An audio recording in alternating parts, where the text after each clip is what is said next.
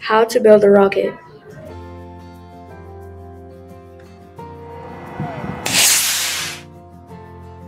First, you will have a string and a cap. You will tie the string around the cap. Then you will have a rubber band, you tie it around the cap too. It should look like this when you're done. After you have a long rubber band and cotton wadding. You will make the cotton wadding into balls and put it into the tube. Soon, you will glue the igniter into the tube and push it in. Then you put the cap on and pull the rubber band all the way through.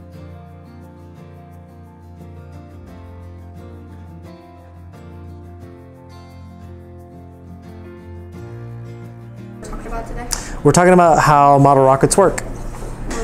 These rockets are available at any hobby store. Um, Michael's, Hobby Lobby, Amazon um, is where you could readily find these rocket kits. So in order to uh, be able to launch a rocket, you first have to buy a rocket kit, which is the which is has all the pieces for the actual model rocket. Um, you also need to buy um, uh, motors, uh, rocket motors, and typically when you buy rocket motors, they also come with the igniters, and there's also this other piece called a plug.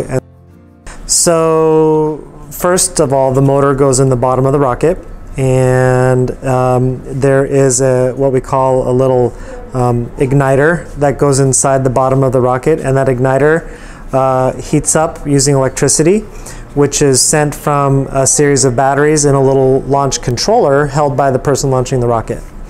And they push the button, electricity flows through the wire, it heats up the igniter inside the motor, and it ignites the propellant that's inside, and it shoots out the propellant shoots out the bottom, and up goes the rocket.